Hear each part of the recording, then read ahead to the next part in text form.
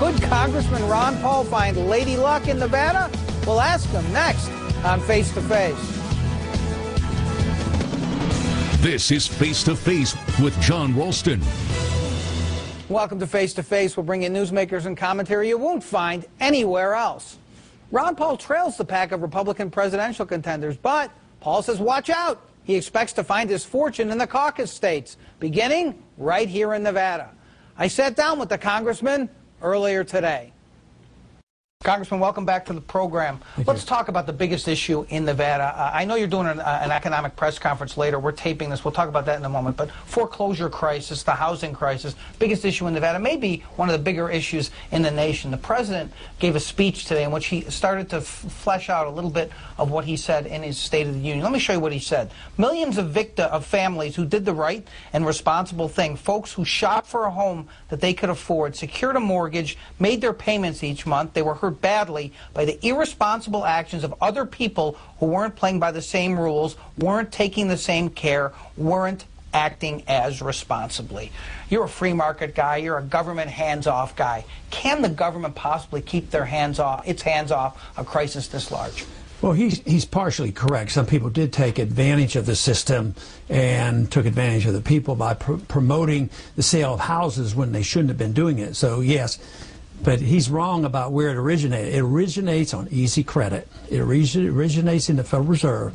When interest rates are lower than they should be, people do things that they wouldn't have done otherwise. So On high interest rates, they don't build too many houses. They send a signal. It's an interference in price controls when you artificially lower interest rates. So if you don't deal with that, nobody understands the business cycle. So they, they have ignored that. Then you had the Community Reinvestment Act that told the banks that they had to loan to people even if they didn't qualify. Uh, at, at, the, at the same time, uh, the, the belief was that as long as you have inflation and the value of the house goes up, people can keep borrowing it'll be perpetual prosperity. It was all an illusion. And then, of course, the people who were making a lot of money, they did make a lot of money off it, but then they got into the gambling, they got into the derivatives business. But that is a consequence of the bad monetary policy. So they've done that, and then they go into bankruptcy, and then the Obamas and the Republicans, other Republicans say, oh, we have to bail them out or the banks are going to go bankrupt. So they go in and compound it by bailing out the banks. And then who got the bad debt? The, the government and the Federal Reserve bought that debt, dumped it on the middle class. The middle class lost their jobs and they lost their houses. So everything they've done so far, including what he's proposing now, billions of dollars to go in and prop up bad debt. So he's partially right, but he doesn't understand the business cycle. And you're saying he's wrong about what caused it, and now he's wrong about the solution. Where we're, right, but he's right about the fact that people took advantage of it. Uh, and I understand the Ron Paul all evil springs from the Federal Reserve. We can Well, about- true. I, I, understand, I understand you believe. That's how you fight these wars. But, but, but people are watching this program, uh, 80% maybe of the people who are watching this program are underwater on their houses. They don't care about the Federal Reserve. They don't care about bailing out banks. They care about what are you going to do if you become president to help them. Is the answer nothing? Well, well, no. You want to you want to get the prices down. You want to liquidate debt, the debt. You don't want to bail out the big banksters, and you want you have to quit the bailouts in order for this debt to be liquidated. Now, one thing that the federal government does, and what Obama wants to do, is both both the leadership, both parties do it. Because the banks owe the debt, they securitize, securitize, you know, the mortgages. The banks own this. They get in the derivatives business. The international banks own it. This is involved in the international crisis in Europe because that's where some of these mortgages are. So what is the guarantee? There's no incentive to help out the, the person that's holding the mortgage because the bankers say, hey, they bailed us out before, and Obama and uh, generally the Republicans, they always bail out the banks because they're scared to death of the banks going bankrupt. So the, the bank, the guarantee that they will bail out the banks, once again, guarantees the banks won't meet up and, and have an agreement with the people holding these mortgages. So we're, we're on fast track to continuing this process for another 10 years. So if you want to do it for 10 years, just keep doing the bailouts that we're involved in right now. I know you're against TARP. I know you're generally against fe- federal, federal bailouts. Uh, again, I'll ask you, though, uh, Obama's proposal, I won't go into all the details. You know some of it. He wants to help people refinance their mortgages. He wants to help people who are in distress, who, as he said in that speech, through no fault of their own. And I think you agree a lot of this happened through no fault of people of people they were induced because of the low interest rates or whatever or, or whatever reason. The question is, should the government be helping these people now through helping them refinance their mortgages? And if you're not going to help these people, how does it fix Yeah, itself? but there's different ways of helping. And Okay. Sure, you should help them. But but let's say somebody has uh, they're underwater and they're underwater a couple hundred thousand dollars and they have to liquidate, which they probably will have to eventually. Uh, just propping it up is just delaying it. Give them a tax credit. Let them get back all their money, you know, if- off on a tax credit or something. But spending more money, the problem came from too much spending and too much debt. So how in the world are you going to solve the problem of just spending more money and more debt? Where's, where's Obama going to get the money? But if I'm 200 grand uh, underwater on my house, and believe me, there are people watching this who are saying, "Yeah, that's me." What, what are you going to? What, what's a tax credit going to do for me? How's that going to help me out? Well, in the future, he, he won't have to pay income taxes for a long time. is that right? Sure, he gets a tax credit. He gets it all off his taxes. All off of his taxes. Sure, he gets it off if, if they pass legislation that I would want. That's better than appropriating money and taxing you further. I mean, do you want more taxes to bail out all the household people? He says five or ten billion dollars. What if it's fifty billion dollars? And you know they did offer programs similar to this. Nobody took advantage of it because governments are inefficient. This is how we got in this thing. We had too much government. To think we can get out of it by more government spending and more regulation and more bailout is a pipe dream. More of that interview with Congressman Ron Paul when we come back.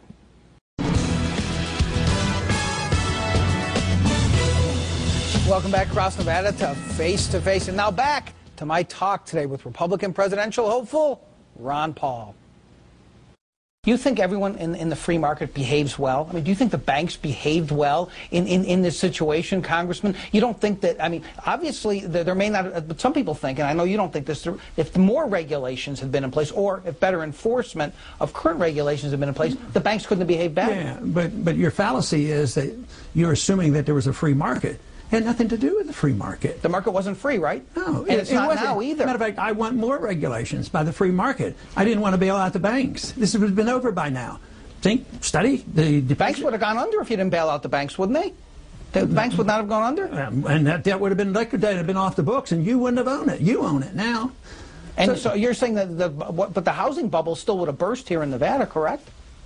Well, burst around the country. but Right. Is just a major the worst part of here, it. There was more speculation. Pardon me? The- It's just the worst here, is what I'm saying now. The housing bubble still would have burst if you don't bail out the banks. All the banks go under. Then what do we have? Anarchy? No, but if you if you blame the free market when the free market wasn't existed, you don't let me get to finish my sentences Okay, before sorry. you interrupt. apologize. Go ahead. no, the free market has stronger and stricter regulation. If you create a monetary system where mistakes are made and people do dumb things, like Obama was saying, that if you would only have regulations to regulate the mistakes that you've created, it's a fallacy. But the regulations in the free market are much more powerful because you have to live up to your contracts, you have to liquidate debt, you have to go into bankruptcy. You can't take taxpayers' money and bail out the banks. The people who are holding this debt should have suffered the consequences of this, and it would have been all over. This is why studying the, the Depression of 1921 is so important. That depression lasted one year, and that was a consequence of the inflation of World War I. But it was a non-event. But it was a crisis. One year, and it was over with, and everybody went back to work again. So I, I want to wrap up this discussion of this issue by saying essentially what you think the government's role is is to enforce the contracts that already exist, and that's about it. Is that is that is that right? Well, to, to, to use bankruptcy laws and not dump debt on the taxpayer.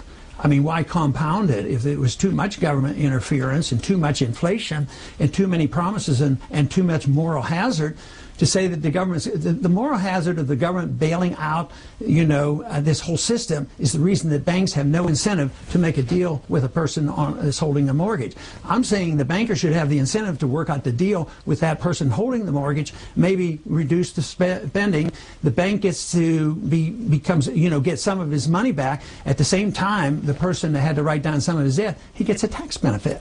I don't, I don't know how anybody could reject it. it's so you, wonderful. You, yeah, you would be against the government trying to force the banks to do some kind of pr- mass principal reduction program, right? You think that would be wrong? where did this authority come from? Who invented this? I mean, that, that's, the, that's the type of thing that created the problem. That this affirmative action, the government do this, artificially low interest rates, buy your houses and live off the increase in the value. Now we're reversing it and we're unwinding it. The quicker you unwind it, the faster we'll get back to building houses again. All right, Well let, us talk. This this program is, is, is going to air uh, uh, after you have your press conference today at 3 o'clock. It's going to air.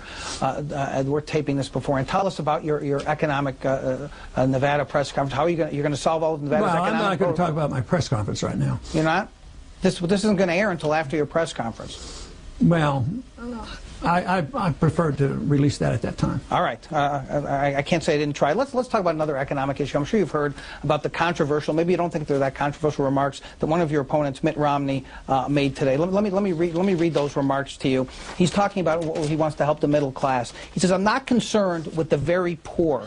We have a safety net here. If it needs repair, I'll fix it. I'm not concerned about the very rich. They're doing just fine." You associate yourself with those remarks or not? I, I don't know what in context he's saying that. I'm not going to analyze what he was really thinking and what his intent was. I know that he's been misquoted before, and in the context of things, I'd let him explain that. Well, but okay, let's talk about that because you know the Republicans, the some people call it class war, uh, are going to be portrayed in the general election as not caring about the poor, and, and so when you hear someone say, "I'm not really concerned about the very poor," what is it? What does Ron Paul think You know, there's very little I agree with him on economic policy, but I don't agree that Mitt Romney doesn't care about the poor. Uh, where where are your biggest? What separates you, do you think, from Mitt Romney? And let's we can bring in Newt Gingrich too. Uh, uh, on economic policy, do you think that people don't don't really crystallize? Well, I think it's with the other three candidates. There's a disagreement because they're on one group. Uh, we disagree on foreign policy. They think that uh, spending forever overseas is a benefit to our national security. I see it a threat to our national security and our economic security because in these last 10 years we have been fighting wars uh, uh, and we've run up the national debt by $4 trillion, which was a contribution to the business cycle and the housing crisis because the money's being spent overseas instead of here. When it comes to monetary policy, none of them really care about uh, understanding the business cycle and what we have to do and why you can't solve this problem without looking at uh, some sort of monetary reform where you put restraints on the Federal Reserve. This idea that you can create wealth by just printing money, it's the most absurd idea ever created in mankind. So they all agree with this. And when it comes to ba- bailouts and, and government intervention, uh, none of them are offering any cuts. You know, not one single dollar.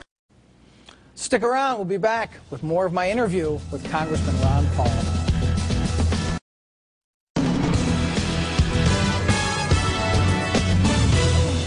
Welcome back across Nevada to Face to Face. Now, back to my interview earlier today with Republican presidential candidate Ron Paul.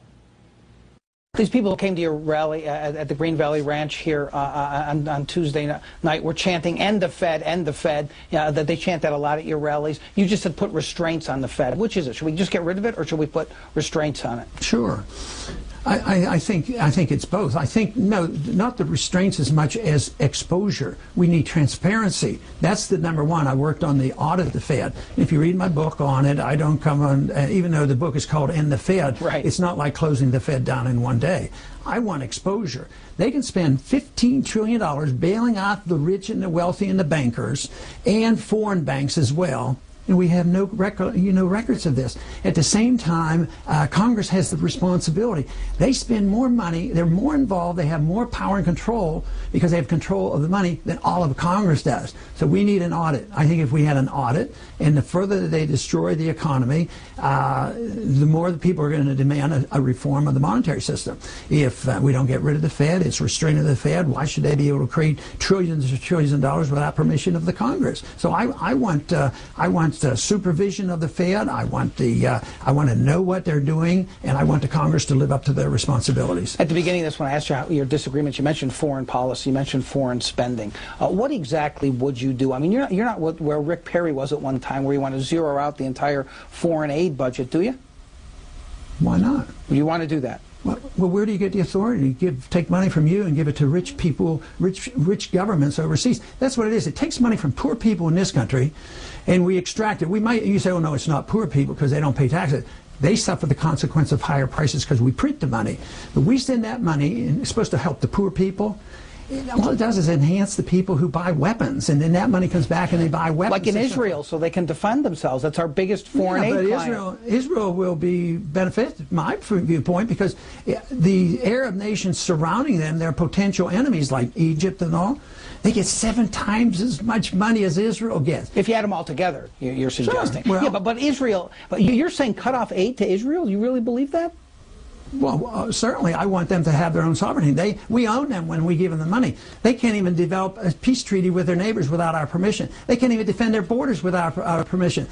You know, in the early 1980s, I was the lone congressman to defend their position for bombing the nuclear site in Iraq because I think they give up too much if they give their, up their national sovereignty. And even Netanyahu, before the before the Congress, it's just a little less than a year ago, came over. He says, "We don't need American troops to defend us. We can take care of ourselves," and he can. And they are capable of taking care of themselves. What they don't need to do is give up their national sovereignty. And I think that's where they sacrifice way too much. And I think our policy is harmful to Israel. Just think of what's happening in, in that area. Like uh, we, we propped up Mubarak. You know, we bought his friendship. Worked for a while. We coughed up 40 or 50 billion dollars.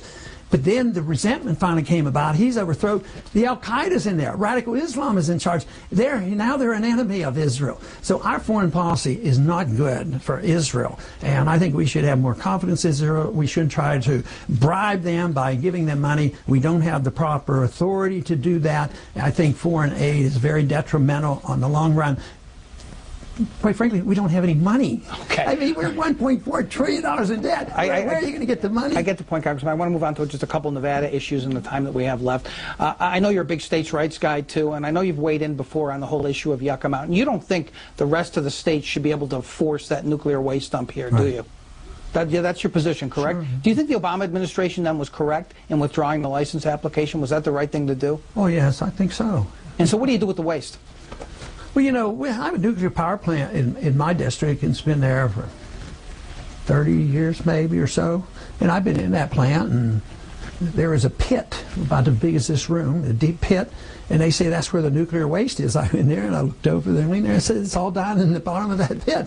I mean, it, it's not like, you know, it's as big as a battleship or anything, but no.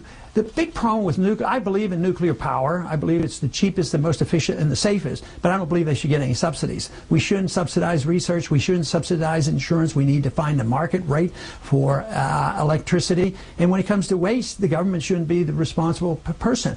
The people who run the nuclear power plant has the responsibility to make sure they harm nobody. So just keep it there on site then? You think that's Well, they okay? can do that, or they can start finding a place. Uh, But it's their uh, you know, responsibility, maybe, the maybe if uh, maybe if they auction it off, there's you know we, we have some place space in West Texas. They might they might uh, bid for it. We'll be back with the final segment of my interview with Congressman Ron Paul. Stick around.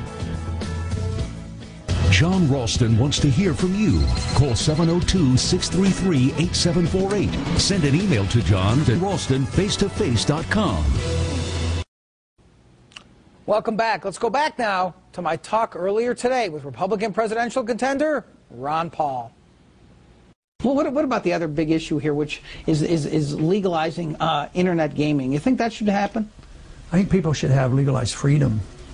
Isn't that a freedom issue? I mean, why not let people gamble on the internet? Right. I think people should be free, and they should make their own decisions, and there should be no regulation of the internet. Right now, we're winning our fight against the effort to regulate the internet. This, uh, uh, you know, Stop Online uh, Piracy Act. We won that one. That's been removed, although they're trying to still get around that thing. So people should have a right to their freedoms, and I don't know why should people should be so frightened about that.